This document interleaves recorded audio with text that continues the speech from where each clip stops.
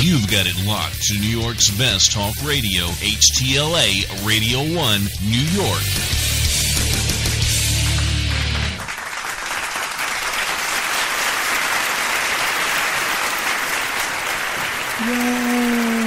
Yes, it's Yay! standing room only. That's right. Thank you so much for being with us tonight. Tonight is Monday, April 13th, 2015. And if you can hear me, then you are listening to Straight Talk with your host, this intellectual Kate Taylor. Almost forgot my name there for a second. That's because his shirt's And off. I'm telling you. And my co-host, the also shirtless Christopher Crash Jesus Taylor, my other half, my better half. Mm-hmm. There he you go. Yeah. Yes, that's Well, right. okay. Stay with us. We have a heck of a fun show tonight. We've got Jeremy Irvine with us, um, promoting his new film Beyond the Reach, and you know we're just gonna talk stuff. You know, we're just gonna talk stuff. So this Because is we are New York's number one talk stuff station. that's right, we are. We're the world's best talk radio and the world's first brilliantly exceptional, all utterly original talk entertainment programming ever. oh yeah.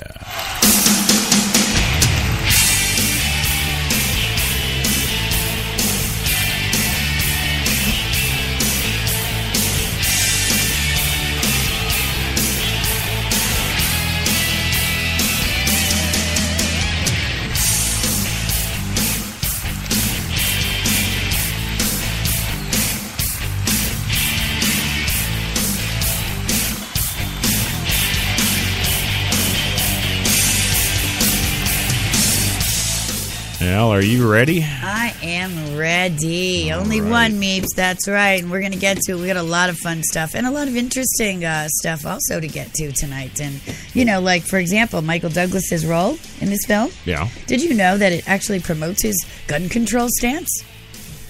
Who would have thunk it? Gun control stance when he's Yeah. got that five million dollar gun. I know, right? And you know, I was just uh, informed that you know it was his production company that that picked up this film to make, and uh, Absolutely, yeah. yeah, great, great job.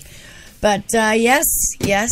So spend some time here with us, and it will become clear to you that we are the only one that can be only one. This one, HTLA Radio One, New Aye. York. That's right. Visit us at www.htlaradio1.com. Check out all our other stuff. We have lots of stuff. Oh yeah, we are right. the stuff capital of the world That's here. right.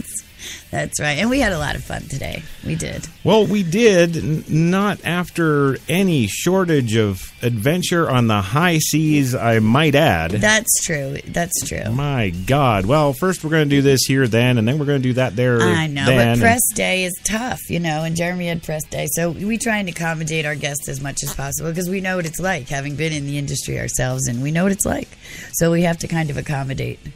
Well, yeah, know. but that was just nutty. It was nutty, but uh, it was it was good though, you know.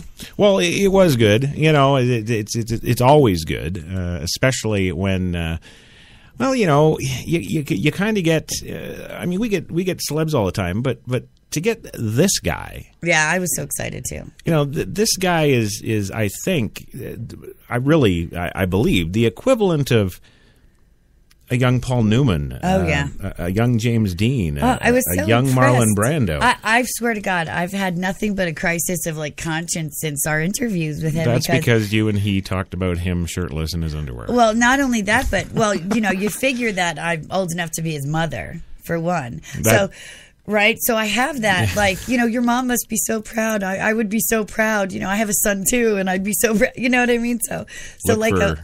A mama proud, right? But then again, you know, he's he's hot. He's really hot, and you know, I'm not that old, so you know, I can still spot hot guy when I see a hot guy, and you know, You're not that old, and I'm not gay, but I'd go there. See, you know what I mean, right? So I've had this like divergence of, of conscience here today. Oh, know? sure, He's sure. hot and cute, but yet, you know, I want to be his mommy too because he's so perfect for that. Well, I don't want to be his mommy, but I know what you mean. If yes. either of our daughters brought him home, I'd be very happy.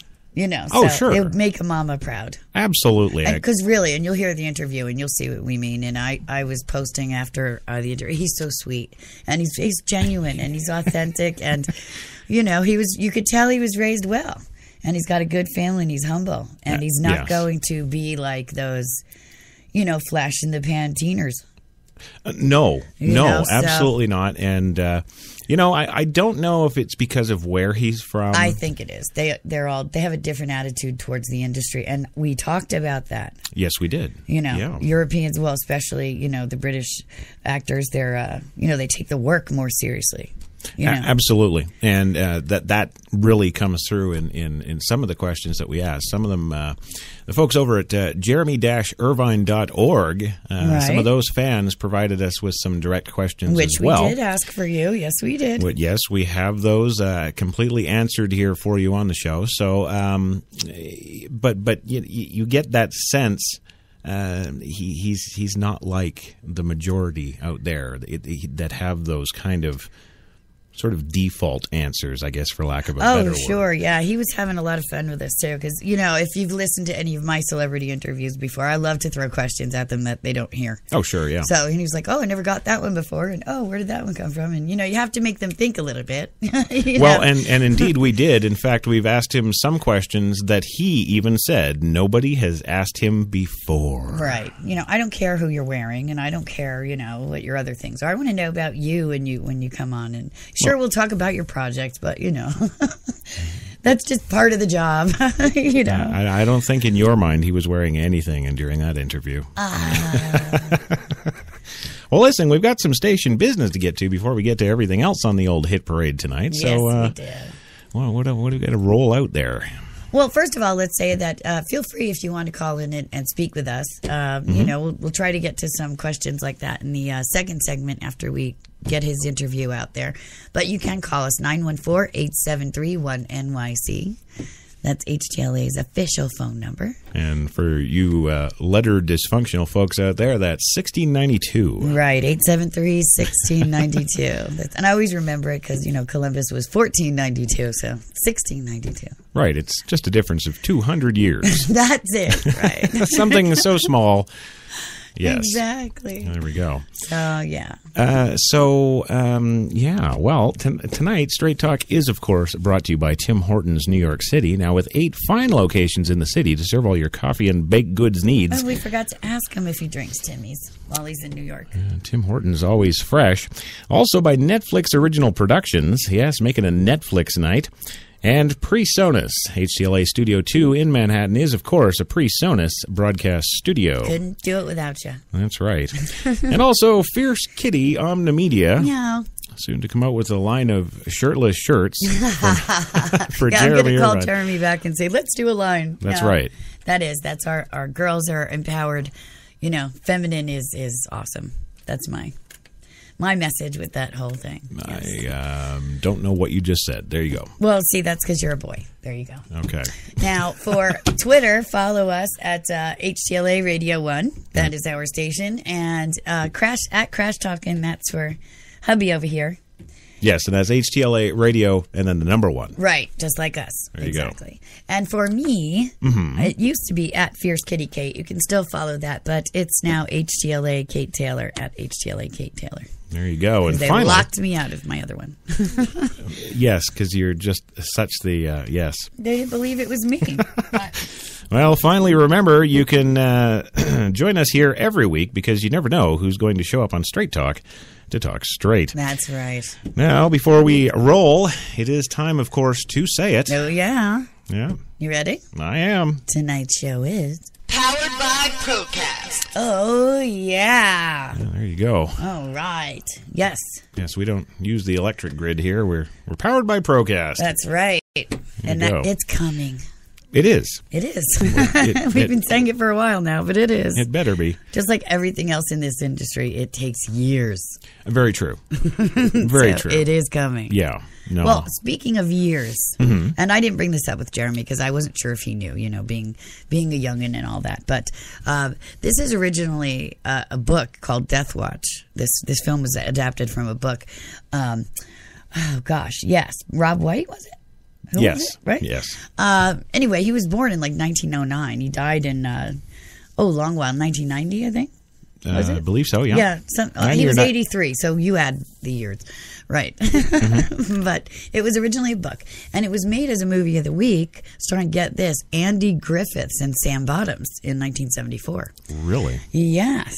So it was uh, actually titled Savages, that movie of the week. Right. Right. Right. So Jeremy had said that you know Michael's uh, production company had had the story and thought it would make a really good story, and that you know. So I'm not sure if he knows that it was already a movie of the week, starring at the time two of the biggest actors then. Yes. You right. know, Yeah. and uh, they made it for TV, and it was probably just as exciting. And that's another thing. I mean, obviously, Mr. Douglas can spot a good story, and you know, like I always say, writing wise, you know, it's got to transcend the ages Sure. and um, you know to be as poignant as it was when it was written as a book and then you know in 74 when it was made and now today still to be so brilliant because the story is Absolutely. You well, know. if you're not familiar with the story or you haven't seen the trailers yet, we're of course talking about uh, Michael Douglas and Jeremy Irvine starring in Beyond the Reach. What began as an accident has become a deadly game, which is kind of the way I feel about our radio show here. i thought you were going to say our marriage you are so lucky Uh, no, it's that's fine. I'm I'm okay. Uh, one of these days we'll interview, you know, some crazy, sexy, you know, woman celeb, and sure we you know, will I'll talk to her about uh, being uh, just in our underwear. That's fine. yes Uh, a high rolling corporate shark and his impoverished young guide, of course, play the dangerous game during a hunting trip in the Mojave Desert. Right. Now, these guys, these these crazy guys, went out to, uh, uh, well, a, a crazy place in new mexico several in, New- in New Mexico, in new mexico to right? uh, to film this. And of course, they they they were actually in 130 degree heat doing yes this. right That, that just staggers me. You know, for for the folks out there saying, "Oh, well, these actors they get paid too bloody much money." Well, yeah, I don't think so. yeah stay on a set for 18 hours and then come talk to us and don't have a trailer like the actors do 18 hours for three months. well right exactly yeah Don't forget that. I'm sure Mr. Douglas had a great, nice air conditioned trailer. Jeremy probably as well. I'm sure Ronny Cox is in this too, and I'm a huge fan of Ronny Cox. And you know, I don't know if Jeremy had any scenes with him because I haven't seen the screener. We actually were invited to the screener in New York, but we couldn't get there. The weather was so bad in February, we couldn't get there. But um, yeah, I love him. He's you know, ever Oh, since yeah. RoboCop, I'm a huge Ronny Cox fan. Right, but. Yeah. yeah. So, like I was saying, you know, if, even if you don't have the luxury of the trailer like the stars do, Mm-hmm. you know, people that say that obviously have never spent any kind of time working Well, you, on a you know, movie and, set and, because and, it's and the most grueling and thing. you know, regardless of what you say about the stars, you know, the bottom line is they still have to get out of the trailer and go to the movie. They do, and Jeremy was talking about having all the uh, prosthetics on because thankfully he wasn't as red sunburned as the film makes him appear. Right. Poor baby, he was a lobster. Every time I saw those scenes, I cringed. You know, Oh, remember, folks, she said, "Poor baby." I did. Wow. See, Look at that. I feel like just so much plus. but like I said, I'm looking at him like I would our son or you know any one of our other children. So. Oh, yeah. Yeah, I'm, I'm quite sure. Right. You know, when you talk about somebody's mom, you know, you can't really have those kind of feelings towards them anymore. It's kind of weird. Oh, I don't know. I'm not the cougary type. You know, I don't like younger men anyway. Here we go. So there you go. I don't. I've always liked older men. you know, Uh, yes. I like my intellectual and uh, maturity equal. What, and you're saying Jeremy's not that? Well, well, Oh, nailed. There all you go. Well, just by virtue of, of the age difference and the life experience, etc. You know, so. Well, yeah. No, I know what you're saying. I know what you're saying. Although he doesn't have much growth, I mean, I've seen a lot of, of twice as old men as he does that, you know, has a heck of a lot more growth to do than this kid has. So, Oh, sure. but Yeah. I chalk it up again to honestly good, good raising, good parental raising. You know, he comes from good stock. He's got good parents, good careers, solid careers. He's got two younger brothers, mm-hmm. one who's also an actor, Toby Irvine. Um, right. And, uh, you know, his mom's a hoot. He takes her to premieres and events and stuff like that. And one of the, uh, when they were doing Great Expectations, the, I don't know if it was the director or someone, the producer came up to him and said, Wow, if only I had a younger version of him, you know. He said, She said, Well, I have one at home, you know, and that's how Tur- Toby Irvine got the uh, role as the younger Pip, right? There you go. So, you know, it's just good. And she's uh, actually works for the government over there, the local. I don't know what they call the localish government there, but uh, Uh, the British government, I believe. no, well, you know, like we have provincial and municipal and things like that. You know, so I don't know how it's divvied up there. Actually, uh, no, we have state. Well, we do. Oh, hush! I mean, in North America. Anyway, Oh, right. Well, there you go. Right. So we had talked a little bit about that, you know, that uh, the admiration for him, his mother, you know, she actually rehomes ho- homeless people and, you know, that he feels like his job is just so much fun and, you know, she actually does the real work and Yeah. that yeah. kind of thing. So you know that the kids raised with some good stock and some good, you know, I look at the kids in this country today and Absolutely. Well, yeah, yeah, that's the other thing too that you can you can tell from the interview. Which, yes, yes, relax. We'll get to in a yes, few we will get to. but um, you know, we, come on, this, we, we got to you know keep you waiting here. Right. Um, you, you you can even tell, you know, like I said a little bit earlier in, in his responses, uh, you know, he, he's he, he's got some substance to him. You know, Right. he's, he's not just one of these, uh, you know, Hunger I mean, Games. uh, well, he turned down the lead in Hunger Games as Mm-hmm. well as Divergent. So there you go. He didn't want to be that teeny flash in the pan kind of star. I don't know how I feel about that, you know, because uh, I, I can see his point. Sure, you, you might, you know, forever be shelved away as Gandalf, or you might forever be Ask shelved Robert away. Pattinson.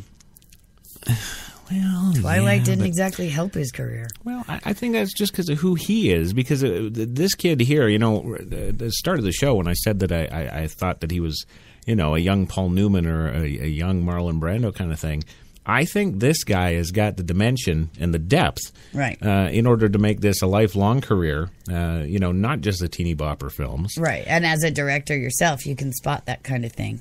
Yeah, You know, knowing Yeah. who you want to work with and who you don't. And as a writer, I know that, you know, I can already envision, you know, parts that have that kind of depth that I would love to write in that way. Absolutely, You know. absolutely. And even though- it's funny that you say that because uh, Jeremy has a, an, an affinity for war movies. He's done uh, a film that was set in the First World War. He's done a film that was set in the Second World War, and um, you know he's been asked before, and uh, he has an interest in history, which he actually says in this interview with us. Right. And uh, but but he he he likes the, the war films. He likes those kind of periods, those kind of feelings, those kind of feels Right. and he uh, you know is, is quite obviously destined to do more and, and, and I could totally see him and and this is really strange because uh, you know the way he talks you know he's got that British accent but Every movie he doesn't. every movie he doesn't and, so believable and, as he a does Yank. extremely well Yeah.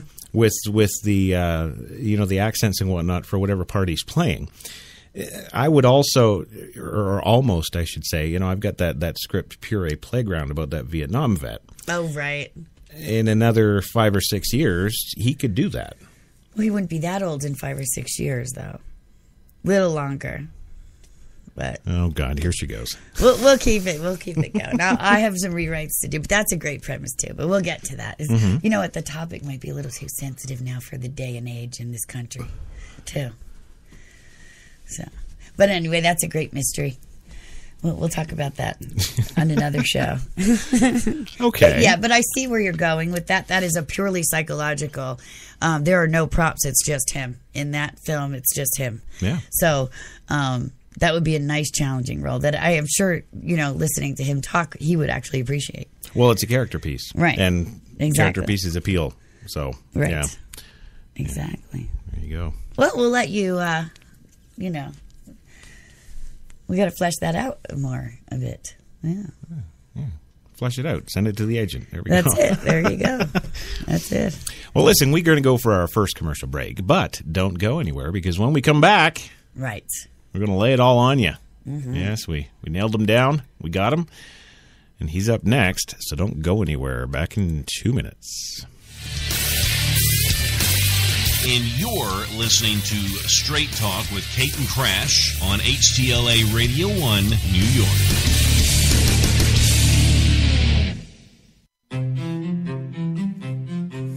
What if there was a coffee that was sourced from some of the world's most renowned growing regions?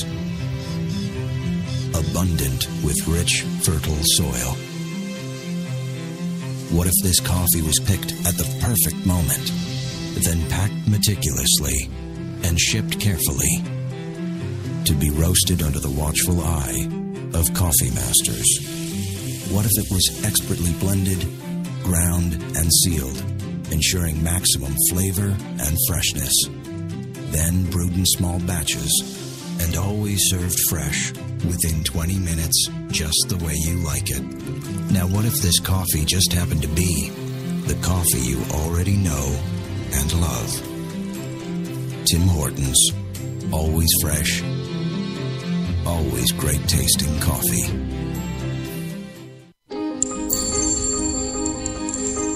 Some said the U.S. has lost its innovative power. We said America is lighting the way as the innovation nation.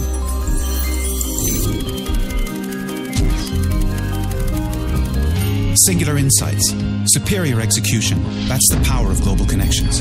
Bank of America Merrill Lynch. Voted top global research firm 2011, 12, and 13. Wait a sec. I found our colors. We've made a decision. Great. Let's go get you set up. We need the brushes. You should check out our workshops. Push your color boundaries while staying well within your budget walls. I want to paint something else. More saving, more doing. That's the power of the Home Depot. Behr Premium Plus Interior Paint. Only at the Home Depot and now only twenty three forty six a gallon.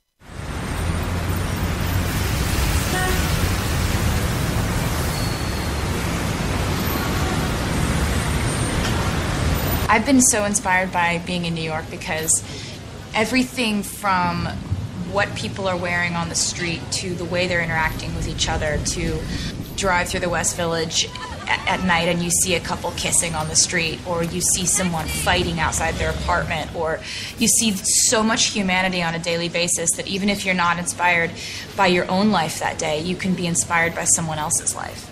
You got that long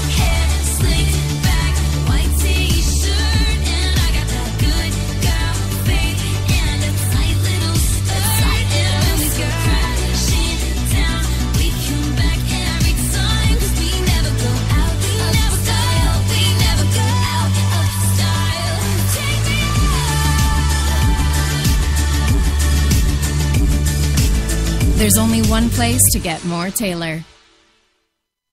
Once again, every sip of your favorite coffee gets you closer to spectacular prizes with the return of Roll Up the Rim to Win. Like one of a thousand Napoleon Gourmet Grills. One of a hundred $5,000 MasterCard prepaid cards. One of millions of coffee and food prizes. Or one of 40 Toyota RAV4s. It's the coffee you love and the cup you love to roll. You've got it locked to New York's best talk radio, HTLA Radio 1, New York.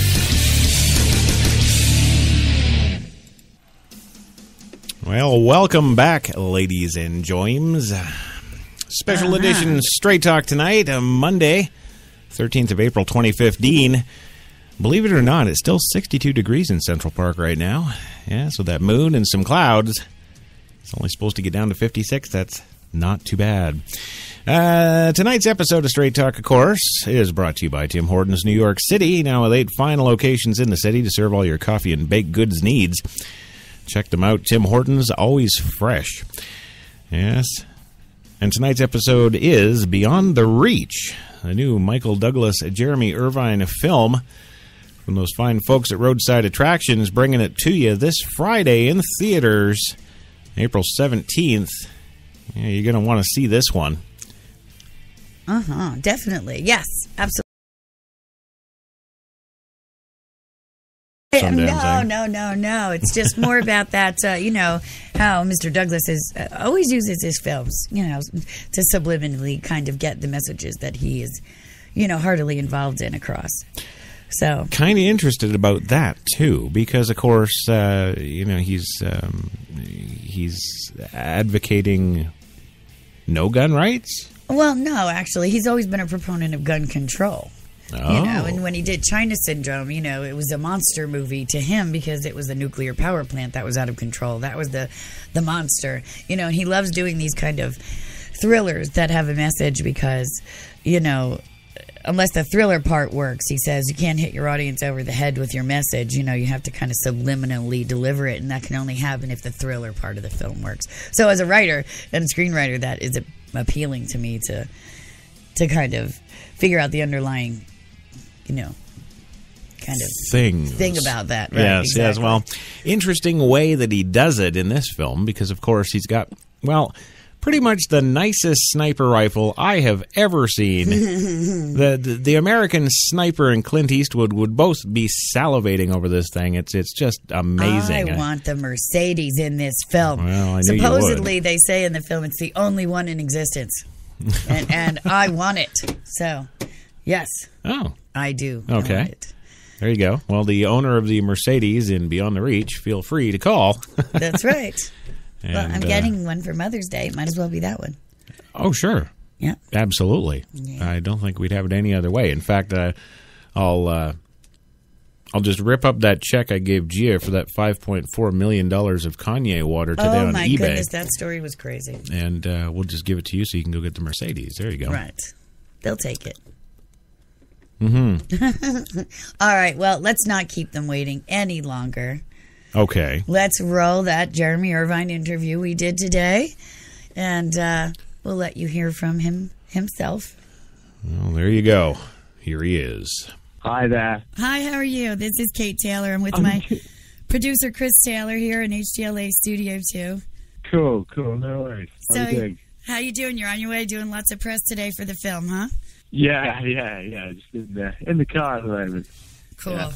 Well, we've got uh, a few questions for you, and um, we've actually been, you know, away. talking with your fan sites, you know, a few of your bigger fan sites, and we've got some questions from some of your fans on there as well, if you don't mind.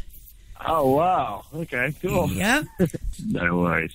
All right. So, first of all, let's talk a little bit about the film. I know you have some questions, Chris. Well, yeah, we're we're basically here with uh, Jeremy tonight to uh, talk about uh, Roadside Attractions release uh, for Beyond the Reach, the Michael Douglas film uh, that uh, Jeremy is is starring in with him, and uh, that uh, I believe the the release date for U.S. is uh, April seventeenth. Is that correct?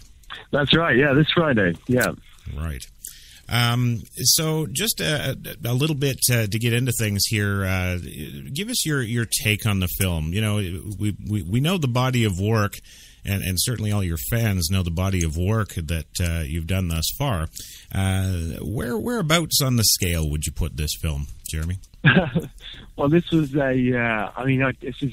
I guess it's quite a. It's quite an odd sort of thriller. This movie. It's um.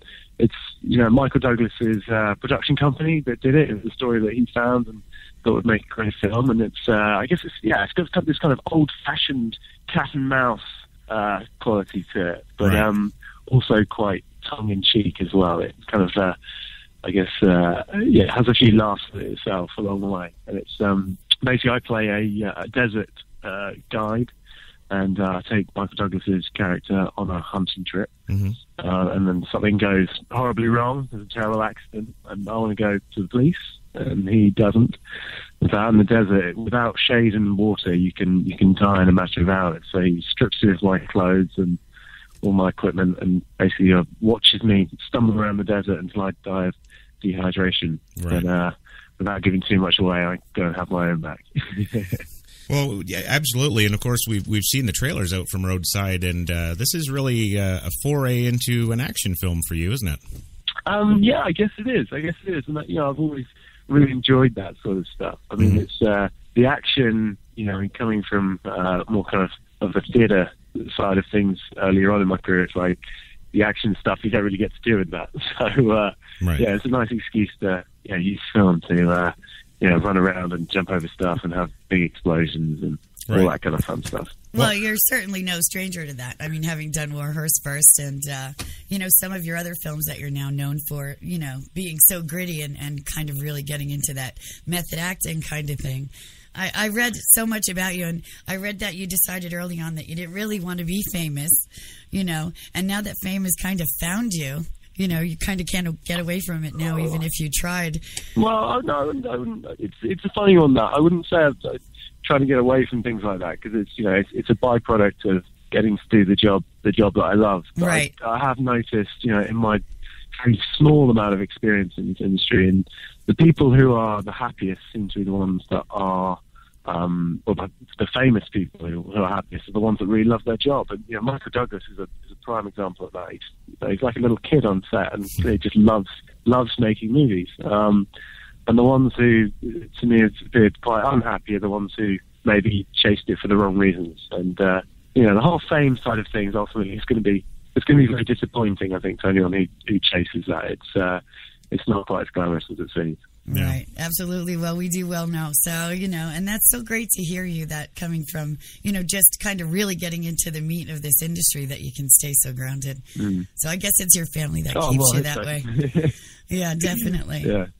But um, Oh, thank you. what was harder? You know, what was the hardest film that you've done so far? You know, because I know you've done a lot of these Um, gritty types now. So I mean, this one, this one Beyond the Reach is, uh, I mean, it's, it's up there. I mean, uh, this was definitely physically uh, one of the most demanding. Um, you know, a lot of the stuff that you see in the in the movie, where you know, I'm running across the desert naked and well, almost naked, Right. yeah, uh, no shoes on. A lot of that stuff, you know, it's real. You can't really fake that. And uh, also, I had a huge. I get terribly sunburned in this. I had a huge saw makeup job for about I three and a half hours. I felt so bad for Three you and a half just hours seeing in the that.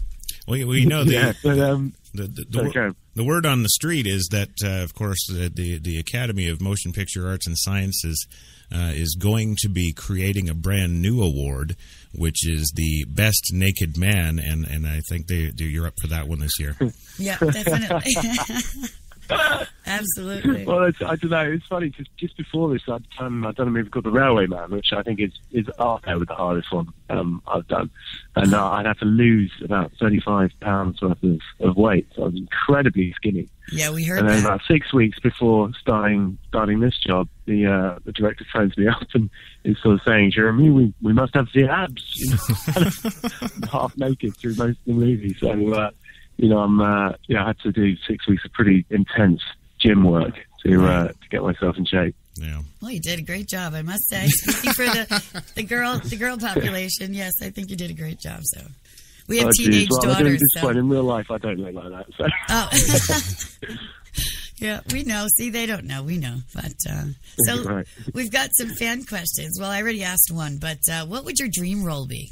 Dream role. Um, wow. I, I don't know. I mean, it's it's funny. I don't go looking for anything specific in roles and scripts. You know, it's funny. You just when sometimes you just read something and it, and it just stays with you for a couple of weeks afterwards. You know, you're, you're just always thinking about it, and uh, I can't really put a finger on that. But um, I don't know. I did a. Uh, I saw a play when I was 16, which was the Royal Shakespeare Company production of The Seagull, and uh, that was one of the things that kind of cemented it for me, uh, wanting to be an actor. So I guess. Uh, yeah, I'd like to go back to the stage at some point and uh, I don't know, maybe have a crack at that. Right.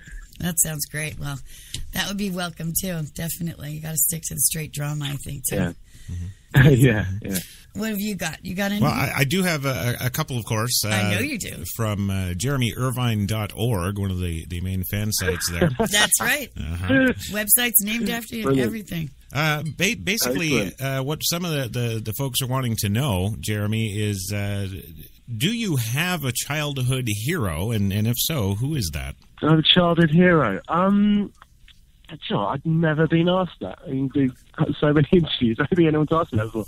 Um, I don't know. You see, I mean, I was always, um, I guess I was always kind of uh, fascinated by. I mean, at one point I was heavily into sports. I would into sports too, but I mean, uh, there's actors that I always, um, you know, hugely admired growing up. Um, I guess like people's careers, like Christian Bale's career and Right. and uh, Leonardo DiCaprio's careers, and you know, just those wonderful kind of choices.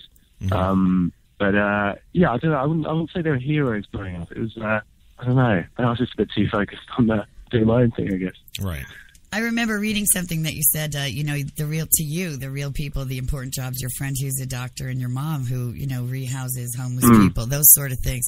So as a mother, you know, we like to hear those things, you know, so. well, for sure. And you know, in terms of in terms of the people I always looked up to, I guess you know, my mom and dad were kind of were kind of that. Um, and you know, I, it's funny. I mean, being in the industry now, I find it so weird yeah, when uh, War Horse was nominated for all these things like Oscars and Golden Globes, and I went to all the uh, went to all the the big kind of fancy ceremonies and things, and uh, you know, the first thing that really struck me is, wow, you know, just for for acting, I'm getting all this, you know, all these fancy ceremonies, and my mum rehouses homeless people for a living, and she doesn't get things like that. Right. Um, so you know, that's it's kind of yeah hard to adjust to at first, I guess. Oh, it's it's great for us to hear. This is really a socially kind of based show that we do regarding entertainment and stuff. So, you know, to hear that Yeah. kind of thing. If there is something that you would be involved in socially, you know, that you would use your fame for, what would it be? Um, you know, I mean, it's it's. I mean, that is one of the very privileged sides of it. You know, that you are able to, uh, you know, in some respects, um, bring awareness to things. And Right. um, in my spare time, I like to I like to write um, kind of factual. Um, on the factual kind of side of things, and looking to do some documentaries next year that um, uh, for a couple of charities and things. And uh, you know, they're not the, I'm sure the TV production companies that we're talking to wouldn't be interested if you know if I hadn't been in films. So I guess that's a that's a that's a pro definitely. Yeah. Right. Well, it's good. Yeah, we. I think that you definitely have to sort of do that. Oh, and I don't think with you we have to worry about it. I think that you'll definitely be someone that in the future would do that, and that makes us so happy because, you know, we always strive to to give back and stuff like that. So. I know. Yeah, well, it's a you know it's a very as- like I said it's a very privileged position to be in. And uh, you know if you can yeah bring awareness to things, then uh, I don't see what possible harm could come from that. No, Yeah. absolutely. So, so with these uh, documentaries, uh, you, you're you're looking to work behind the camera. Um, well, kind of. I mean, uh, you know, the, the idea would be to uh, a couple I've written. That, um, the idea would be obviously presenting them as Okay. me presenting as how I get these get these things made. But um, yeah, there's a there's a bit of a there's a history one and a couple of other things. But um, Yeah, yeah, you're a I history can buff, Talk about those you? more when we've uh, when we got them uh, got them going and stuff. Right. I remember reading your history buff. I wouldn't say a buff, but um, no, it's something I'm interested in. Yeah, definitely. So it Um, must have been really appealing yeah, it's funny to 'cause I was never. Yeah. Well, it's, it's, I, I was. Uh, my school made me stop history before my uh, before my exams at school um, because I was so bad at it. So Oh. uh, I guess maybe it came from that. A bit of a, Oh my goodness. a bit of a, a middle finger to that, I suppose. Uh, we have another uh, fan question. You said that you did like sports when you were younger, so we have a question about if you know you liked football. Who's your favorite team? Favorite team? Um, I yeah, I mean it's always I guess it's always been Manchester United, but um, I've kind of uh, I'm more of a I'm more into rugby and uh, I love Formula One racing as well. Big fan of that. I got to go and uh, got to go and watch it in Montreal this year, which was amazing. Cool. Yeah, those cars are pretty awesome. Oh, it's amazing, and it's such like it's, I think it's one of the last sort of truly glamorous sports as well. I mean, it's just I don't know the behind the scenes of that world is just incredible. sure, yeah. Well, now uh, the, the the film Beyond the Reach here that now that's shot in places like Aztec and Farmington, New Mexico, correct? Yeah, yeah, yeah, yeah. Well, Right. we were, I mean, we were based out of Farmington. but Really, we were driving hours and hours into the desert, Yeah. into the middle of nowhere, because we had to have it completely free of any kind of human, um, human scarring on the landscape. So, uh, yeah, we were it, really in the sticks, as you say. Right. So uh, for for uh, just you know when you were out shooting, then uh, you know you were out there Yeah. in those 130 degree temperatures. How did you uh, how did you yeah, deal with that? sure. Yeah.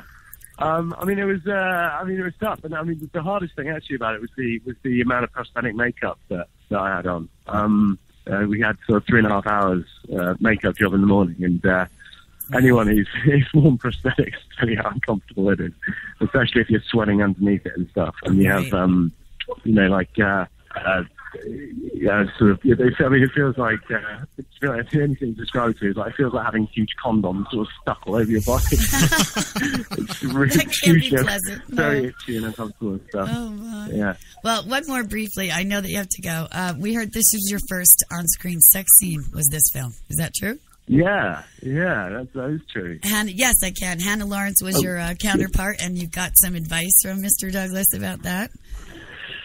Yeah, I did. Yeah, yeah. Well, kind of, you know, Michael was so, so approachable throughout the whole process. So um, that was really great. Like, I thought, well, who who better to, to talk to about doing sex scenes than uh, than Michael Douglas? You know, That's I mean, right, he's the king of every them. great, every great sex scene in cinema is kind of uh, is kind of one of his. So uh, right. yeah, I just knocked on his trailer door and uh, said, you know, what what do I do? um, but yeah, no, he was really cool. He kind of said that I had to. Um, uh, just go and talk to the actress, tell her what I wanted to do, and uh, see what she was comfortable with. And in the end, I kind of went up to her and was you know, all nervous and blabbering like an idiot. And uh, she was so cool and just kind of said everything's good, and then kind of just grabbed me and led the way, so to speak. Aw, that's good. Kind of reverse Yeah. Fifty Shades of Grey there. Yeah. That's it. Yeah. So, uh, awesome. So, so what's uh, what's coming up next for you now, Jeremy? What's going on? Uh, so next we got um I think the next movie out will be a movie called Fallen, which is a big uh, teen uh, kind of franchise movie, I guess. Um, I mean, we'll see how that goes, but it's uh, it's cool. I mean, you know, I've always been nervous about those sort of films, but um, this one I read the script, fell in love with it. Thought it was just a beautiful love story, and then subsequently found out that it was based on a, a best-selling uh, load of books. Right. So um, yeah, so I'm excited for that one. And the other one is a movie called Stonewall, which uh, Roland Emmerich's directed, um, which is all about the gay rights riots in New York in 1969. And um, that's uh, I don't know. Every now and again, you know, you do a movie that feels like it's more than just a film, Right. and that one certainly had that had that feeling about it. And you know, it's a hugely important story that I think a lot of people outside of the gay community don't know about. Um, so yeah, that, that's that's one that I'm, yeah, I feel very passionately about. Well, that that sounds great. Did you uh, did you have anything more, for Jeremy? No, and you know, just thank you so much for stopping by. I know that you've been so busy, and hopefully you'll come by with your future Oh, it's a films. pleasure. Thank you for having me. You're very Thank you. welcome. Great luck with the All right. film, Take care Jeremy. now. Thanks a lot. Thanks a lot. Bye-bye. now. Bye. Well, there he is. There he was. That was so fun. I know it's always terrible when they're in a hurry and you don't get as much time, but I thought we we did well with that one, Absolutely. and I'm really looking forward to him coming back for his other films. So we'll make sure to get more time with him now. Now we can say to him, "Hey, more time." Hey, yeah, right here. That's it. There's only one. That's it. This one. That's right. Right. So we're going to go for our second commercial break, but don't you worry. When we come back, we've got a whole bunch more on Jeremy and Beyond the Reach with Michael Douglas. We'll be back in two. You've got it locked to New York's best talk radio, HTLA Radio 1, New York.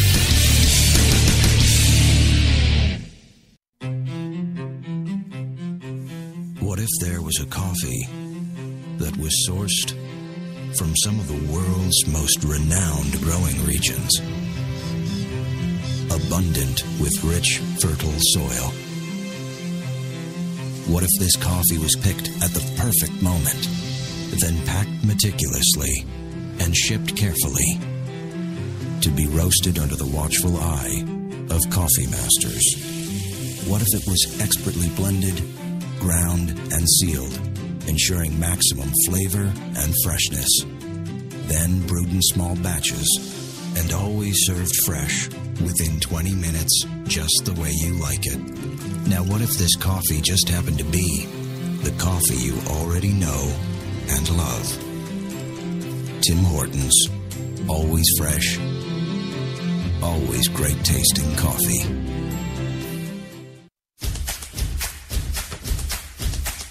Wait a sec. I found our colors. We've made a decision. Great. Let's go get you set up. We need the brushes. You should check out our workshops. Push your color boundaries while staying well within your budget walls. I want to paint something else.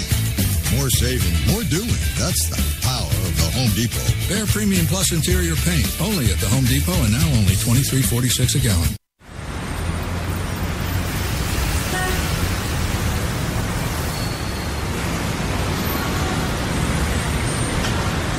I've been so inspired by being in New York because everything from what people are wearing on the street to the way they're interacting with each other to drive through the West Village at night and you see a couple kissing on the street or you see someone fighting outside their apartment or you see so much humanity on a daily basis that even if you're not inspired by your own life that day, you can be inspired by someone else's life. You got that long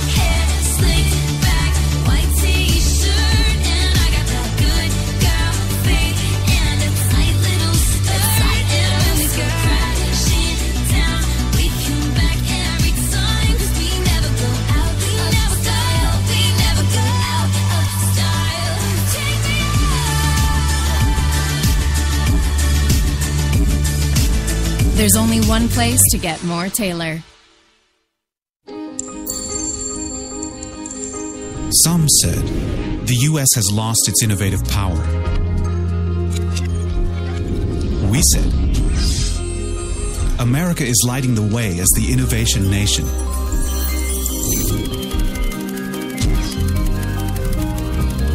Singular insights, superior execution. That's the power of global connections. Bank of America Merrill Lynch. Voted top global research firm 2011, 12, and 13. Once again, every sip of your favorite coffee gets you closer to spectacular prizes with the return of Roll Up the Ring to Win. Like one of a thousand Napoleon Gourmet Grills. One of a hundred $5,000 MasterCard prepaid cards. One of millions of coffee and food prizes. Or one of 40 Toyota RAV4s. It's the coffee you love and the cup you love to roll. And you're listening to Straight Talk with Kate and Crash on HTLA Radio 1, New York. Well, you know you are. Oh yeah, absolutely. If it's Monday, then of course you are. That's right. And That's we are right. back. And of course, you are listening to HTLA Radio 1 New York, New York's best talk. And this is Straight Talk uh, for your Monday, the 13th of April, 2015. Currently 62 degrees in Central Park right now under partially cloudy skies, but who cares? It's 62. It is. And I think spring is finally, finally sprung. finally. Oh, yeah. Yes. Well, we're here tonight, of course, uh, with Jeremy Irvine for Beyond the Reach, the new Michael Douglas film from uh, Roadside Attractions and Lionsgate. And uh, yeah, we were going to, uh, we, we, we just actually had the segment uh, of the actual interview today. Uh, things went nuts. We were going to have them live in the studio, then we were going to have them uh, live at a conference room, then we are going to have them live here or live there. It was it was it was nutty, and then we we It finally, was. of course, nailed them down to a cell phone and a car. We even had to push your show back today. oh, we did all kind of. We moved heaven and we earth. did. We did. We we really did, and uh, well, of course, uh, everything finally finally worked out. We we got the interview done. We we got the the show doing now. Although well, We're doing. yeah Yeah. Well, see, thank goodness the new Mommy's Helper started this week, or else I would have had to go home. That- well, that's true too. Yes, and then it'd just be me. That's right. It would be straight talk with Crash. Yeah. Yes. And that just doesn't work. No. No. And any of my longtime fans and listeners know that this used to be Straight Talk with Kate Taylor. Yes, when we first got married and started HTLA Radio 1, it was Straight Talk with Kate Taylor. Oh yes, back in the day before Jeremy Irvine took off his shirt. That's right. But, you know, when you're married, everything eventually becomes one and melds, and including shows. so. Yeah, well. Well, coffee and cigarettes is all yours. And home talk, although you have your little crash corner, it's all mine. Well, you just you just keep your eyes open during sex from now on, Missy. Oh, oh, my. oh. okay. Ah, yes. Yes, sir. So uh, before the break, uh, just before we went to commercial, there we were talking about um, uh, Michael Douglas and, and Beyond the Reach, and uh, indeed some of his past films uh, that he's had sort of a an ulterior, almost political statement for. Right, right. and You we were we were talking about the uh, the gun control uh, issue on this particular film. Right. Well, that's what people are saying because it's apparently that, you know, Mr. Douglas doesn't do much of anything without trying to make a statement. Um, and I wouldn't be surprised if, if we see more in the future. Unfortunately, there was a very sad story that uh, came out uh, a couple of months back. His son Dylan um, just had a bar mitzvah some months back, 14, the same age as our daughters. Right. And as you know, Kirk Douglas is Jewish, but um, you know, his mother was Protestant.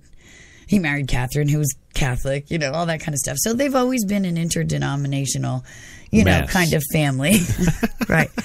But apparently, Dylan had had some Jewish friends who had bar mitzvahs. So he went to his father, Michael, and he said, I'd like to have a bar mitzvah. And of course, Kirk was over the moon. And, you know, they did that. Mhm. And someone at the bar mitzvah gave Dylan a gift of a Star David necklace. So he wears it all the time now because he's very proud of it. And they were on vacation in Europe. And uh, Dylan was down at the pool. And some man actually came up to Dylan ranting at him he shouldn't be there and you know that's the problem with this world and all kinds of stuff and dylan went upstairs to you know the hotel room crying you know 14 about what was going on here he'd never experienced anything like that he's kind of sheltered you know Yeah. and uh so Michael went downstairs to confront the guy and is like, "What the heck's going on here?" You know, and the guy actually ranted, like probably didn't even know who Michael Douglas was Right. and and went on that same kind of tirade. So Michael went back to L.A. and, and took out an op-ed in in, in the paper and uh, you know did kind of an open letter about this sort of thing.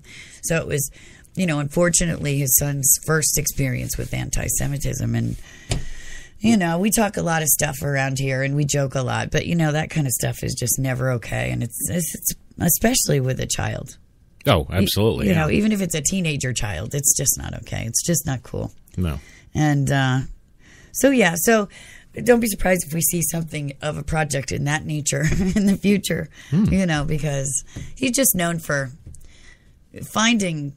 See, he'd be great for straight talk because we're all about the social causes and stuff. Yeah. So he just always seems to find something socially relevant in whatever he's doing. I wonder how he did that, you know, for Fatal Attraction, and which Adrian Lyne was actually the reason I got into screenwriting. Mhm. And, um, you know, so that's again one of my all time favorite films, you know. Right. And, uh, yeah, so I wonder if there was any kind of statement with that or, you know, some of the other films he's made, you know, of questionable Well, I, I don't know, but I, I can pretty much attest that pretty much most of the films he's made, he's had some pretty sweet guns.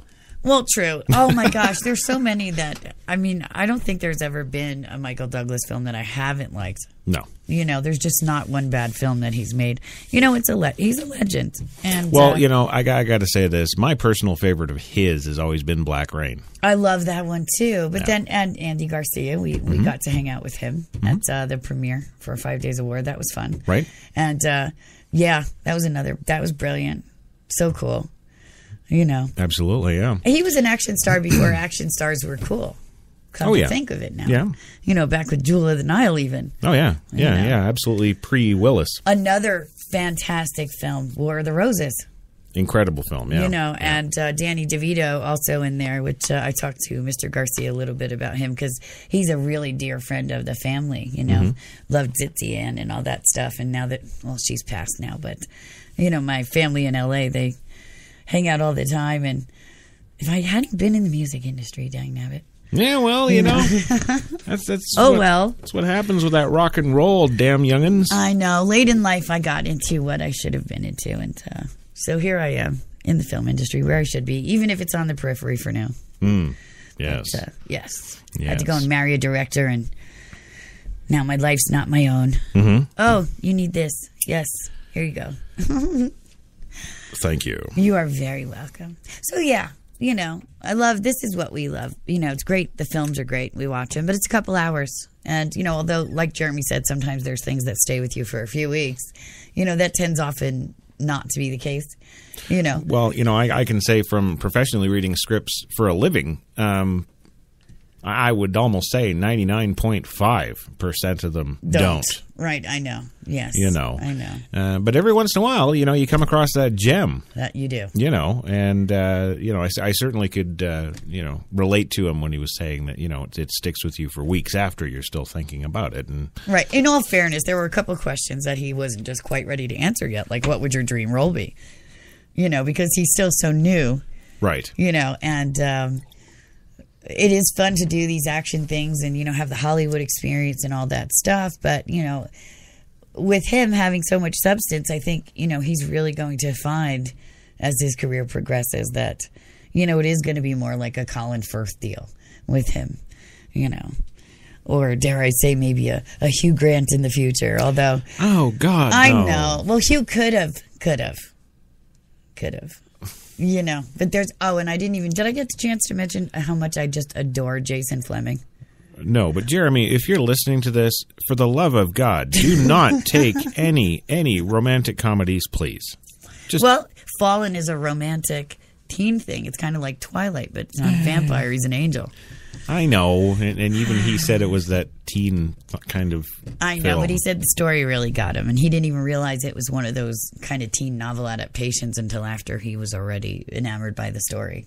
Sure, So- sure, but you know, uh, Jeremy is is really young in his career, and to And young, already period, right? to already have worked with uh, the great Steven Spielberg back in 2011, And Colin Firth too. He's you know and Colin, you know, I almost got the sense, and and correct me if you think I'm wrong, but I almost got the sense, and he even said so, that he he really wanted to steer back towards theater. Oh yeah, no, I know, and that's another thing. I mean, I love all that that sort of thing. Like that's the thing I miss most. Where's Ken, Kenneth Branagh?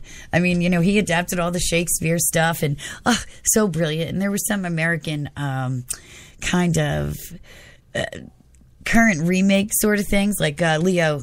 And Claire Danes did Romeo and Juliet, and they did Right. it. And John Leguizamo was brilliant in that, I've got to say. And that was a great kind of remake. Ethan Hawke is is noted for making Shakespearean remakes of film. Um, you know, so I think The Tempest and Hamlet were done and things like that. Mm-hmm. But uh, you know, you still can't beat the originals. You know, you still can't beat the British adaptations of these kind of things. You just can't. No, no. You know, because Hollywood has that formula and it has that glitz and it has that spin, and American audiences almost never can handle a, a, sad ending. And I, I doubt you could afford that Mercedes on a theater salary. Well, he doesn't want it. I do. you know, I well, want it. then don't go to theater, Kate. That's it. No, no, no. I shan't. I shan't. But uh, yeah. So you know, but again, I I seriously, you know, what did I say to you the first time I saw him too? I was like, because I saw Woman in Black too, you know, and I can't believe you sacrificed yourself in the end of that. But that's a whole nother show, you Mhm. know. Well, uh, to, to be totally honest, and I'm, I'm going to do it because I owe it to our listeners, I never knew who this kid was. well, of course not. It's not your genre. It's not your, you know. I didn't know anything about him until uh, Oh, One Night in Mexico. One Night in Mexico. Right. And of course, I only watched that because of Robert Duvall. Well, he's a huge Western fan, my husband. So he grew up on Western. So any Western type film, he'll watch to make sure and check it out. Oh yeah. So- oh yeah. Yeah. Um, and still, my number one is Unforgiven, without a question. But Right. um, you know, th- th- that's when I first saw this kid, and I thought, wow. Yeah, and, and not even knowing you were impressed, right? Not even knowing, Yeah. I, I, you know, and and just seeing that one piece of work, you know, uh, I know.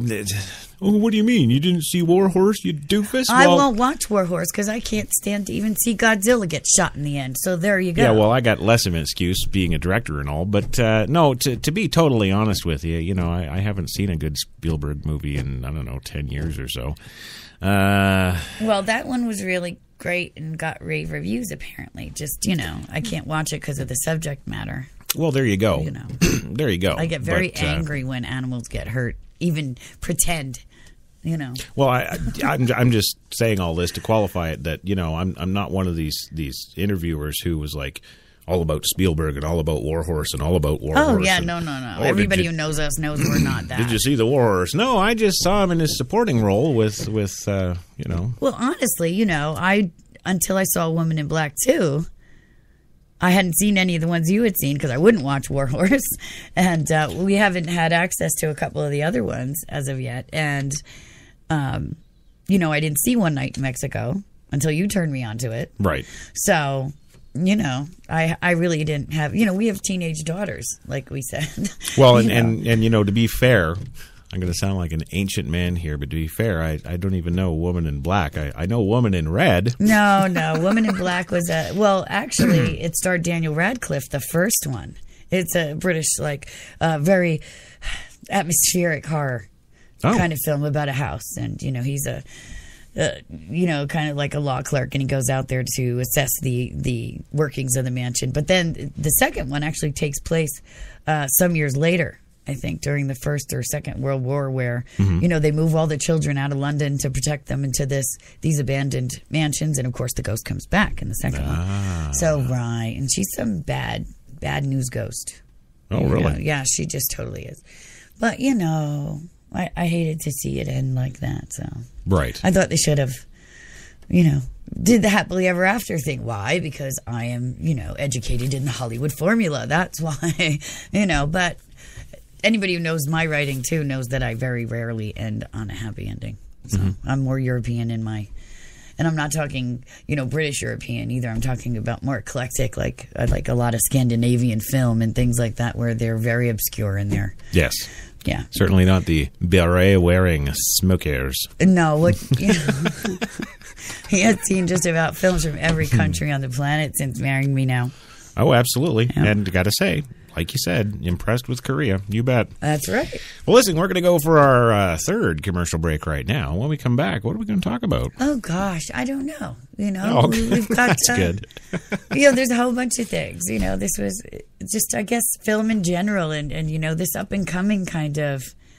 It's so funny. Here's what we can talk about because it is funny to me. With and we have some more, you know, interviews this week and some more films we're promoting later in the week. So you're going to want to stick around because we have a special episode coming on Wednesday. yes, we're going to remind you that Straight uh, Talk, right. special Straight Talk come Wednesday Right. um, because Because we are have we're interviewing Robert Sheehan and Gren Wells and Robert Patrick tomorrow for The Road Within. The Road Within. That's There right. go, which is film. which is also opening this Friday at theaters everywhere. Right. But what we're going to talk about when we come back, though, is the kind of trend towards uh, either book adaptations or, you know, revisiting stories, et cetera, et cetera. The lack of originality, I think. Excellent. I'm bored already. Back in two. And you're listening to Straight Talk with Kate and Crash on HTLA Radio 1, New York.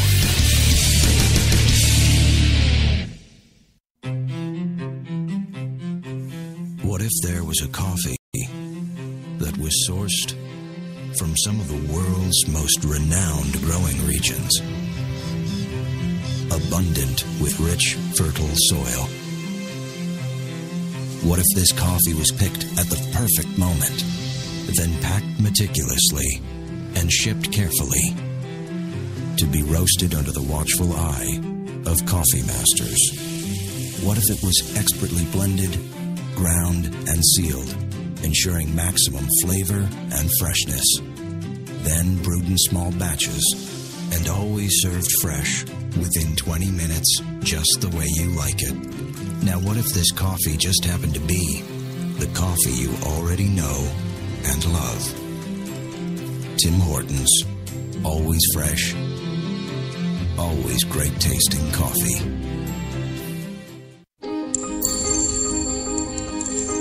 Some said the U.S. has lost its innovative power. We said America is lighting the way as the innovation nation.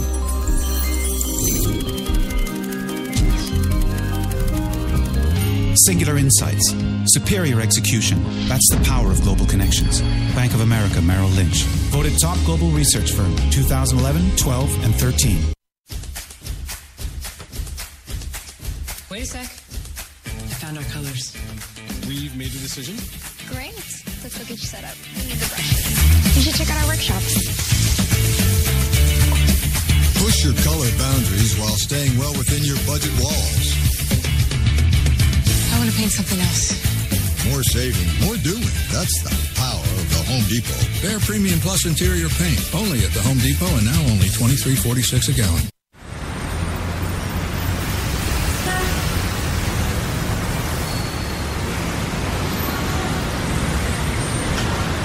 I've been so inspired by being in New York because everything from what people are wearing on the street to the way they're interacting with each other to drive through the West Village at night and you see a couple kissing on the street or you see someone fighting outside their apartment or you see so much humanity on a daily basis that even if you're not inspired by your own life that day, you can be inspired by someone else's life.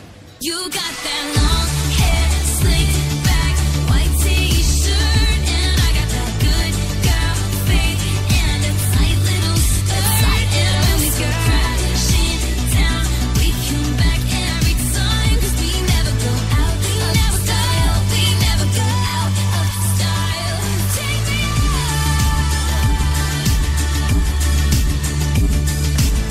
There's only one place to get more Taylor.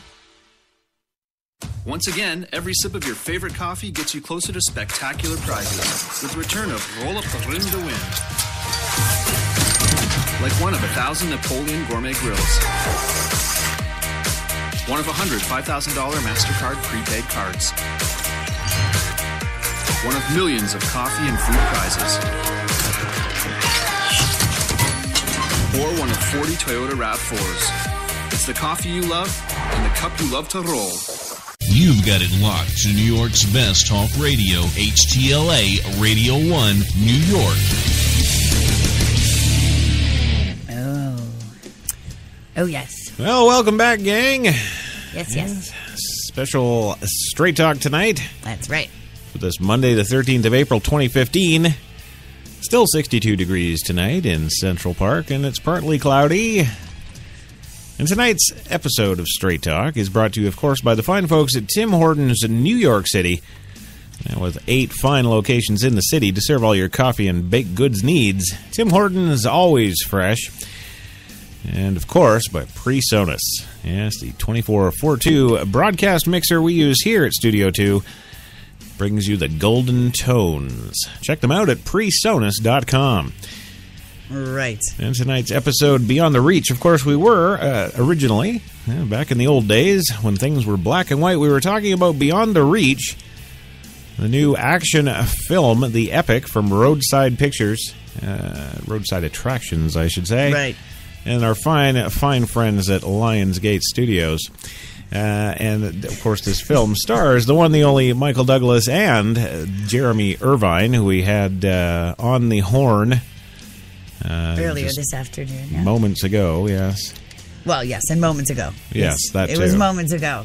It really was. Okay. yeah. Well, you know, interestingly, you can actually watch. Um, you know, when you have a chance, once the film opens on Friday, definitely go see it. Absolutely. Mhm. I'd Oh, be yeah. remiss in my duties if I didn't say run out and go see this film because it's amazing, and it really will be. Um, you're not going to be disappointed if you go see this movie. You can, if you're disappointed, you come back and you talk to me about it. But, well, really, you know, and when do I often recommend film? You know. Not so much. That's yeah, right. I'm no. pretty tough on my films, and you know it's got to be pretty good. And uh, you know, just from what I've seen, it's it is reminiscent of, you know, kind of the best of the the cat and mouse thrillers and the western kind of deals. And I chalk that up to the fact that it was written so long ago, and. Um, you know that it was originally made in 74 and you Mhm. can see that savages by the way you can search that out and see that online for free Mhm. so I won't tell you where because I can't do that, but No. you can do that. you can search out Savages parentheses 1974, and you'll get a whole bunch of stuff, and you you can see it. Um, actually, not to be confused with the Oliver Stone film Savages, which was just a few years ago about uh, drug runners and stuff. Um, yeah, that was a brutal film too. Well, That's right. not the one I'm talking about. This one why- had Andy Griffiths and Sam Bottom star in it. I was five years old. That's why you would search uh, Savages 1974. Right. Yeah. Right. but yeah. So, and yeah, I was correct on my dates. You know, he was born in 1909. Robb White, who'd written the book originally, which was adapted. And how funny they credit him. They credit Beyond the Reach as one of his films in in his uh, bio there. Sure. Well, I guess you know the the credits live on. So yeah. And he did pass away in 1990. So, yes. But he was a horror writer. And surprisingly, I learned House on Haunted Hill was, uh, you know, one of his. And uh, Up Periscope, you know, Firestorm. There was just a whole bunch, you know. So, is this the trend? We were kind of going going there. You know, Right. we before the break, we Yeah. said we were going to kind of go there. So many adaptations. I mean, it's you can't get away from the book adaptations anymore. Mhm. And uh, I I watched something the other day on Netflix because everything I watch is on Netflix. And I swore to God it was an original screenplay because if I haven't seen it before, then it has to be an original, right? And Right. it wasn't. It was another, yet another adaptation from a book. So I was like, wow, maybe I should write books Well, instead of you know, screenplays. I, I've noticed actually in I would say the last I would I would bracket the the last six to eight years uh, more specifically. Hollywood's really uh, coming out um, pretty big time with the the adaptations from novels because Right. I think what happened, and, and you, you may or may not agree with me on this, but in the early 2000s, we really had a run of horrible film. Well, I don't know. Like, I guess. Such, such as what are what are some examples? Well, see, that's the thing. There's nothing memorable enough to mention. Yeah, that's that's kind of what I was saying, you know. Um, and I, I think the reason for that is that the original screenplays that they were working with at the time just weren't very good stories. That you know, Right. Well, there, there, you know, there's definitely a myriad of articles on the internet that support the fact that, you know, the trend has turned to adaptation. So, and and whereas you know, true fans of the original book series, you know, are really happy that their favorite books are now coming to film. Mm-hmm. There's a whole nother section that are, you know, really terrified about that fact because you know their imaginative you know, interpretation of what they're reading is going to be butchered by the filmmakers. right? So, you know, I enjoyed I enjoyed the time when you know Stephen King stuff was adapted, and you know, just a couple. You had your couple few that you knew who it was. Well, yeah, but you know, really more what I'm talking about is is Hollywood has always had this way of coming in and screwing everything up. And you know, I, I pretty much got out of the business in 2000 and got back in in 2008, and, and kind of during that bracket of time. There wasn't really anything to write home about. But then 2008, 2009, 2010, we start seeing all these adaptations from novels. And, uh, well, of course, the quality of writing seemed to elevate with that. And all of a sudden, we're, we're, we're starting to get to the point where we're, we're having movies that, that are uh, substantive, that they've got some quality to them. Now, where, where I think they're kind of screwing with that now, yes, I'm talking about Hollywood again Right. where they're screwing with that now is is doing things like, well, let's do the Lord of the Rings trilogy. Okay, well, we did the Lord of the Rings trilogy. Oh, well, we haven't made enough money yet. Oh, let's do The Let's- Hobbit, too. Let's do stuff that didn't happen. Right. Well, Let's- they let's- mentioned that in that one article too. Let, let's create characters that aren't there, and you know, let's let's take this man's legacy and and just well, add to it. He won't mind. Right. Well, actually, they are books. You know, they were books, but just not as as popular as the Lord of the Rings trilogy, and not as well known. And you know, And not by Tolkien. I'm not sure. I can't speak to that. You know, but uh, you know, it's almost as if, like I said, screenwriters were a dying breed now. If we have any original ideas, because But then you see, then that takes me to another part of my argument, which is, of course, well, why are we doing, you know, well, we've got to do Jaws again. Well, we've got to do. oh, please don't even talk to me about the Poltergeist we- remake. I'm we've got so to do furious. Poltergeist. We've got to do John Carpenter's The Thing. We've got, yeah, we've got to throw all these teeny nobodies in it, and we've got to put it out. And here's the thing: when it comes to my original, I'm by nature and by by origins a horror screenwriter. Mhm. So when you mess around with my original horror films, right? I, I'm you know anything that John Carpenter's done, you touch that, you die. And they've almost remade all of them. Mhm. You know, The Thing, The Fog, all that stuff that you know I grew up on that are are sacrosanct to me.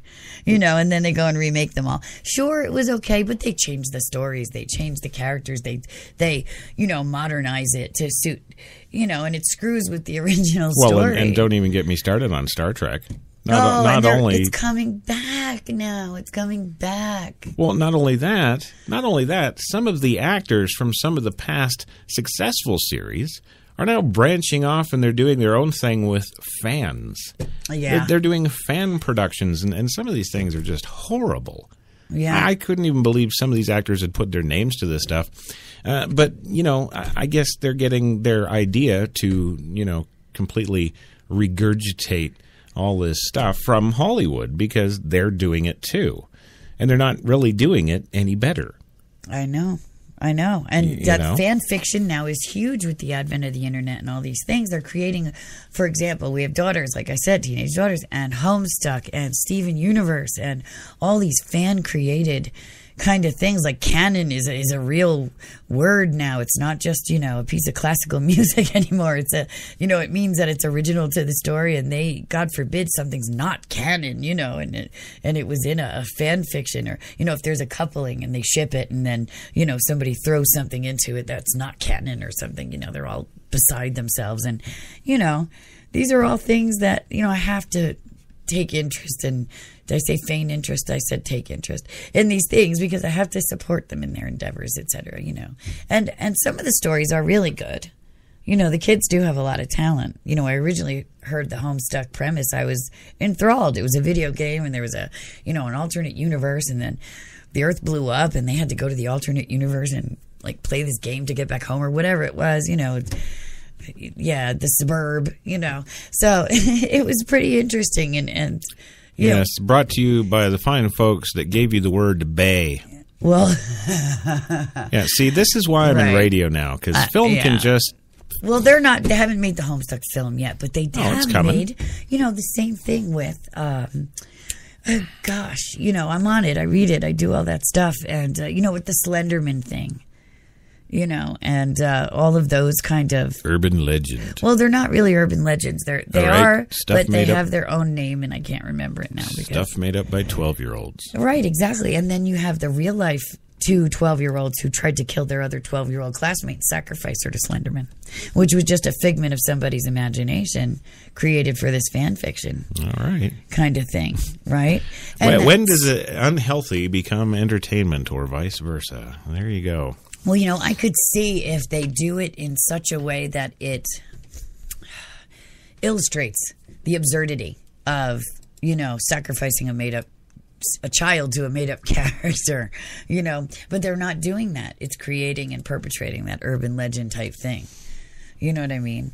So, and you know, we've got a lot of trends for 2015 when it comes to films, film and television. You know, diversity is huge. If it's anything minority, if it's anything black-ish, it's actually a Hollywood term, folks. I didn't make it up. Oh, yeah. If it's black-ish, they'll buy it. Okay, and autobiographical comedies, you know, and it's it's preferable if you're a blackish autobiography too. But you know what I mean. Um, medical dramas are coming back. You know, ER's been gone a long time. Grey's Anatomy's over. You know, it's time for some good new medical drama. You know that we need it. But can we do it? Can we redo it? You know, can we recapture the Well, th- magic that was is- see- those those kind of TV shows? And, and that's the thing that, that really has always bothered me about television too, is because you know somebody will come out with something brilliant. They'll have their run of seasons.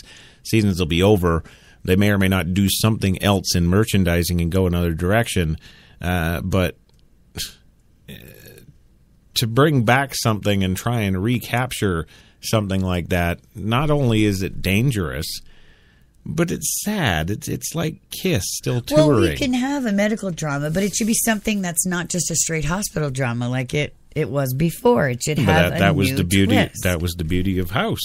Right. That was the beauty That's of why House. the success of House because somebody had a brain and brought something else to the right. table. It was a medical drama as straight as ER. Every week there were different cases and different you know things going on with the cast, etc. But yet it was focused on that you know infectious disease, that Mm-hmm. obscure disease thing. Right. and and that series, uh, like most successful series, actually adapted and went through its own growth through its run. Sure. You know, so uh, I, I think when you have something like that, like Game of Thrones, like uh, Walking Oh, Dead, don't like even talk to me about my Game of Thrones. Yet another adaptation, Walking Dead. Yet another adaptation from a graphic novel, no less. Hmm. You know, don't even. I married Houston. Anybody know that? Hmm. Yeah, when I married my husband, he was House. He was. Hmm. yeah. Yet another fabulous British actor who's speaking American. And no one And does it brilliantly, That's too. right. Yes. Yeah. All right. So some of the other trends, generation gaps. You know, and that's I actually wrote a pilot, a spec pilot called Generation Gap, and this was some years ago. Well, Oh. I was living with Nanny at the time. there you go. It was Nanny, me, and my five-year-old daughter. You don't get much of a generation gap besides that. We had every generation in in the same house, so it was originally a you know kind of a, a dramedy, you know that I had written called Generation Gap. Would be two and a half women. Uh, ah, ha, ha. yes, but then I got married and I stopped writing television and stuff like that. So it never went anywhere. But uh, here it is now, 2015. If I had finished it, I could just be pitching it. But no, you know. Yeah. But there you go. See, I'm way ahead of my time, aren't I? You you are. See, now Absolutely. it's 2015, and five years later, now they're doing it. You see? Mhm. Look at that. Mhm. You Son saw the trend. I did. There you go. Period historical projects. You know, um, Downton Abbey. Huge, huge, huge hit. But they're always popular. I don't know if that's a trend for 2015. I don't think so because, you know, anytime you put a new one on, I'm going to watch it. But that's just me.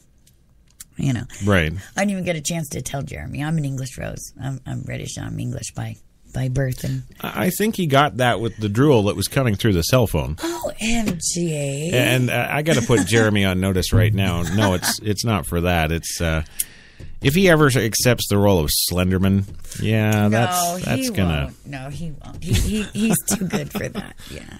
Hmm. You know, it's funny. I, want to think of some roles I'd love to see as he matures. I can't wait to watch his career. I'm really, really excited. Mhm. It's not often that we get to really kind of get in on the ground level of somebody's career in the way that we have now. Very true. But another one that we have, and, and who I think has got some some uh, great stuff in front of him, is of course the one, the only John Sheck.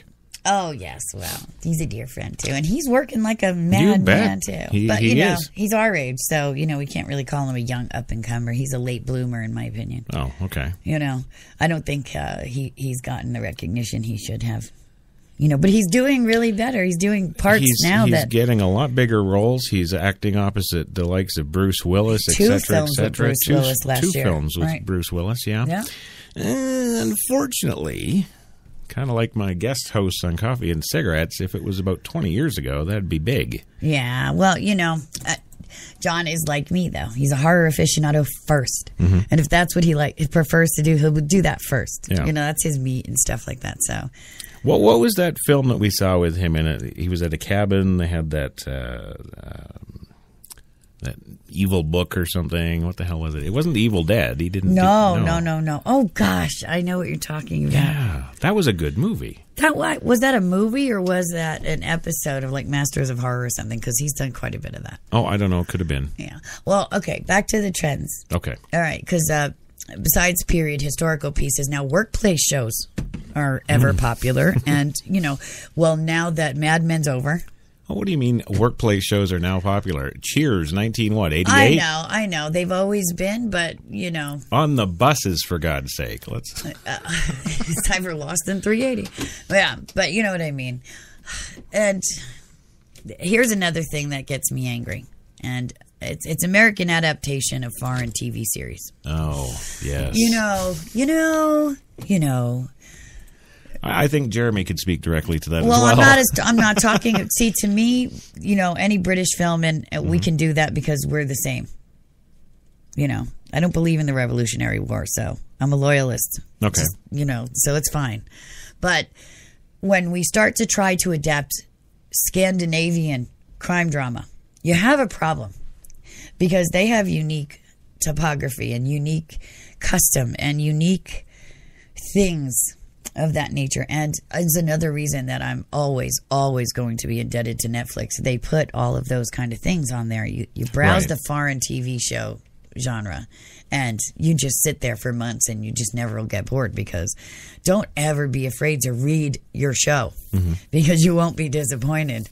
You know, I actually speak a lot more foreign language now because of all the foreign film that I've watched over Right. the years, you know, and uh, I could get dropped pretty much anywhere and be all right for a little bit Okay. you know Mhm. but but what really bothers me is when they're really trying to adapt that kind of stuff that's so far out you know we can do australian adaptations we can do anything from like western europe you know um but when you start going you know like i said up to scandinavia or they're even starting to adapt some of the asian stuff you know you do run into things because their formula isn't the same as western formula No, no. and it doesn't come across well when you try to translate their pacing and their formula into American pacing and formula or just Western pacing and formula. Uh, It doesn't work. It just doesn't work.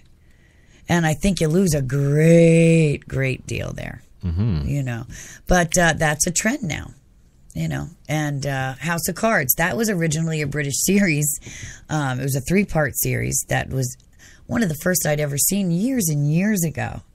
And gorgeous, brilliant. I, I haven't watched the Kevin Spacey one yet, but they adapted it to make it American politics. It's not the same. No. They don't have the same protocol. They don't have the same things. So, yeah. Right. And oh, here's another trend too that doesn't work. Movies adapted to television. So, you know, taking a film that was really popular and now making it, you know, a show. Yeah. So, for example, Minority Report, that's a TV show now on Fox. Uncle Buck on ABC is a TV show. That might that might be the only one that actually works. You know, because it's Not without. Uncle Buck, it won't. Well, right, and he's long gone, right? And Rush Hour, you know, those great uh, Jackie Chan and Uh-huh. you know, great, great ones. They can't. I don't know how unless they get the two of them back for the TV show. You know, I don't know how they could do it. Parenting, that's always a trend. Why is that a 2015 trend?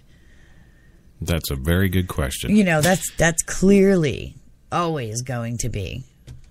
All right. Well, we're going to uh, go for our final commercial break of the evening and then come back and wrap this show up. Yeah, that works for me. Okay. All right. Yes. No, that was it. That was the last one. We'll be back Yeah. in two. You've got it locked to New York's best talk radio, HTLA Radio 1, New York.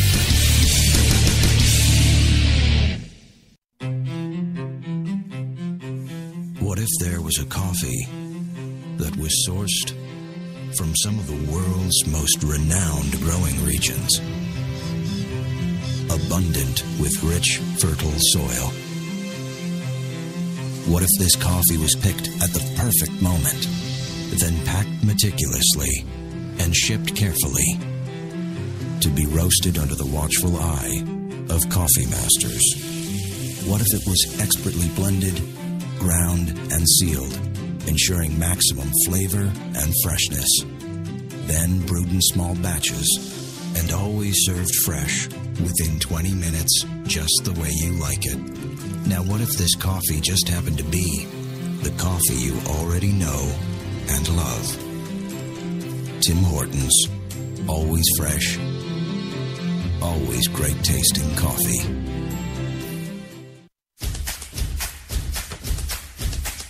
Wait a sec. I found our colors. We've made a decision. Great. Let's go get you set up. We need the brushes. You should check out our workshops. Push your color boundaries while staying well within your budget walls. I want to paint something else. More saving, more doing. That's the power of the Home Depot. Behr Premium Plus interior paint. Only at the Home Depot and now only twenty three forty six a gallon.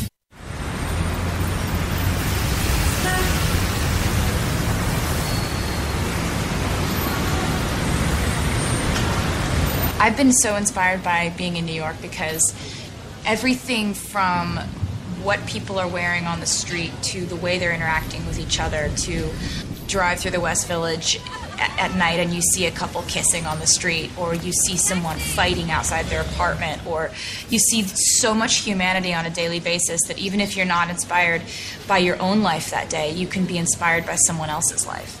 You got that long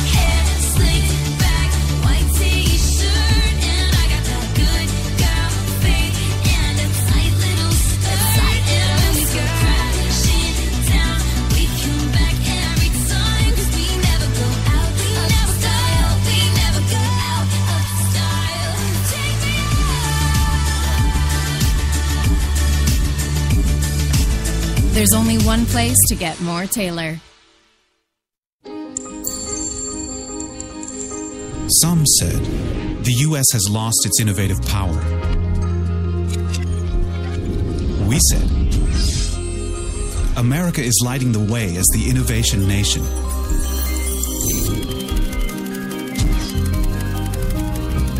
Singular insights, superior execution. That's the power of global connections.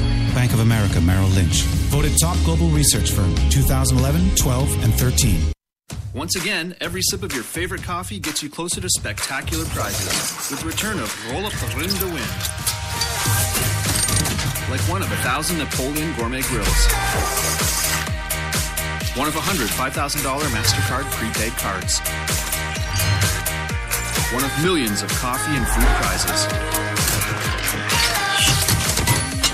Or one of 40 Toyota RAV4s. It's the coffee you love and the cup you love to roll.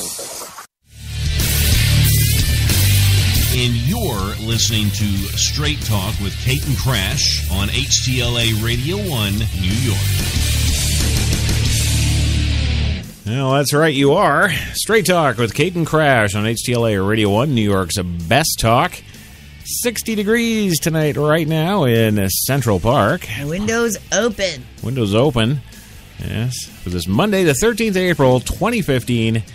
We're rolling it here big time tonight on the show. And uh, we, we've brought you Beyond the Reach. That is the, the show title of tonight. And don't forget, we are going to have, of course, on Wednesday night, a special edition Wednesday night Straight Talk. It's The Road Within. That's right. It's going to be a lot of fun. Another film with more stars we're bringing you on Wednesday night, 8 p.m. Eastern. Yes. And if she's not ready, I'll just go without her.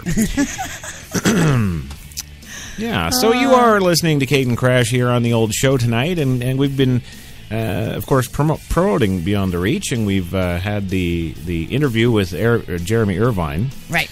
Uh, one of the two awesome stars of the film, and uh, we've just been kind of going on ever. What?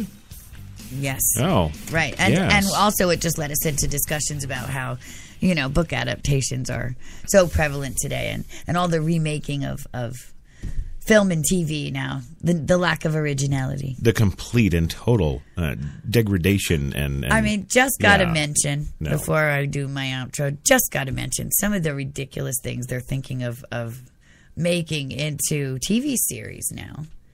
Well, Um, my understanding is they aren't thinking of. They've been Well, right, these are they have. You know, Yeah. Real Genius with Val Kilmer. Remember that? no. Now, like I had mentioned before, anything that HBO is doing, Mhm. I'll watch as a pilot. They're doing Westworld, the old one with Yul Brynner. Right. That was a brilliant, you know, Future World and West. That was really cool, especially back in the day. Okay. Right. You know, so I'll, I'll watch that. But The Devil's Advocate, No. you can't, you can't. You know, that's Pacino and Keanu. You can't do that. Well, I- ignoring the fact that the stars from the films aren't, of course, in uh, the the television adaptations, the point is, is that the story's only so long. There's so many acts to it, and you can't do that over weekly episodic TV. Right, that's what I'm saying. unless, unless they're going to do what we, well, already are enjoying. I guess is not the correct term to use. Uh, where they're just creating their own stories now, and, and they're just going to get into this this. Well, that's what they're going to do. Like for Devil's Advocate, I'm sure there's going to be, you know, some weekly thing that has to be fixed or resolved or some evil versus good kind of thing, you know. Yeah, but things like Shutter Island and, and Shutter the Truman Island. Show. Well, Shutter Island, they're remaking uh, called Ashecliffe, and it tells the story before the Shutter Island film. Scorsese's actually going to direct the pilot, and HBO is doing it. So that's another one that I'll watch because it's HBO, because it's a great film, and because Scorsese's directing the pilot. But, you know, it's really difficult to see how these are going to translate into episodics. Absolutely. Well, I mean, I guess you could.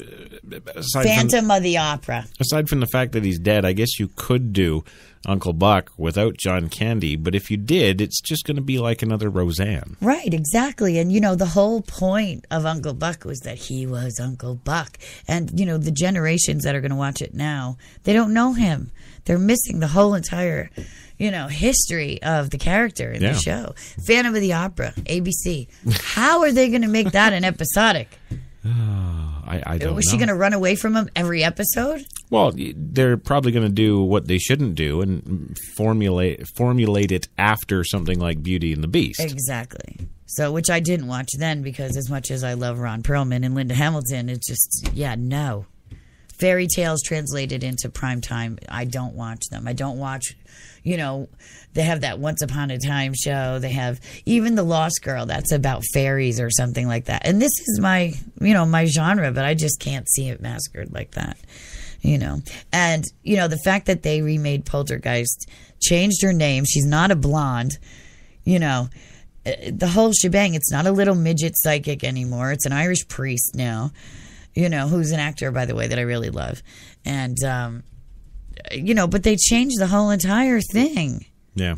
and it's just you know it's just heartbreaking.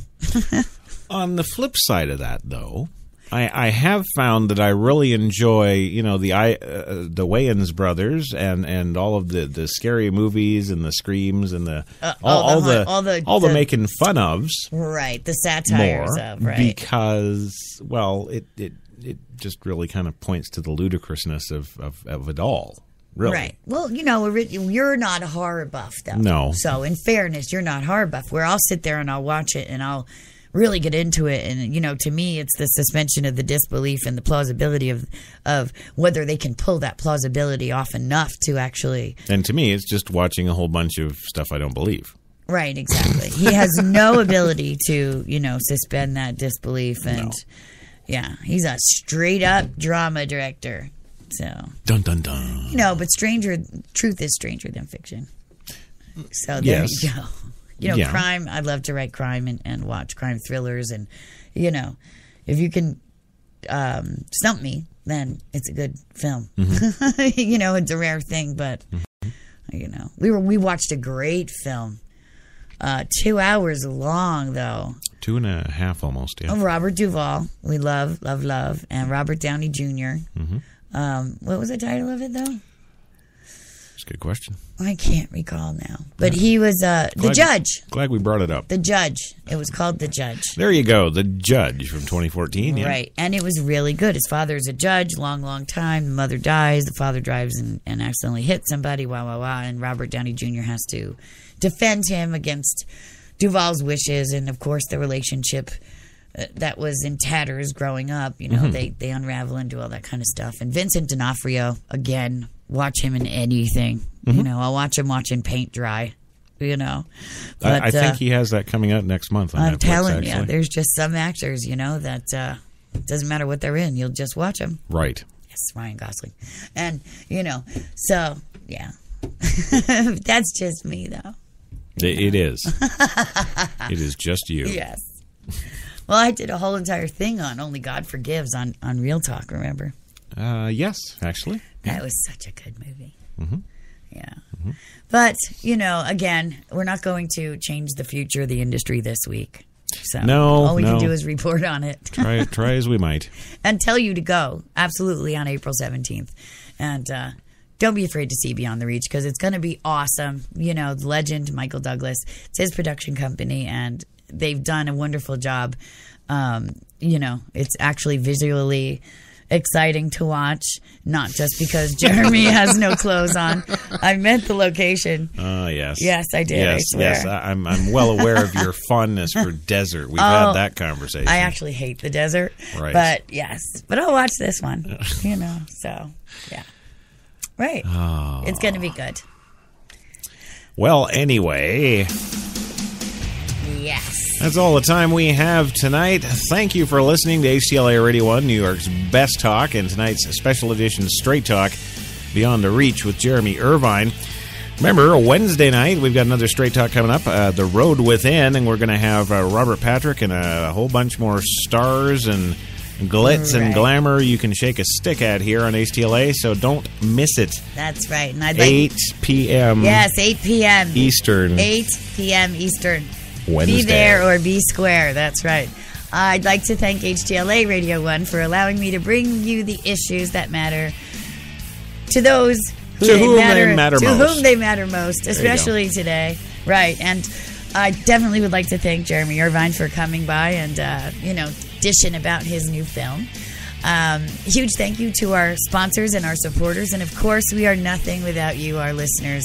Last but not at all least, thank you to my producer, co host, and from now on, shirtless husband. Love truly does conquer all. Christopher Crash Jesus Taylor. Now be sure to be here next Monday, Wednesday, but next Monday, because you never know who's going to show up on Straight Talk to talk straight. Be your only one, too, and whatever you do, see you next time. Good night. Good night, everybody.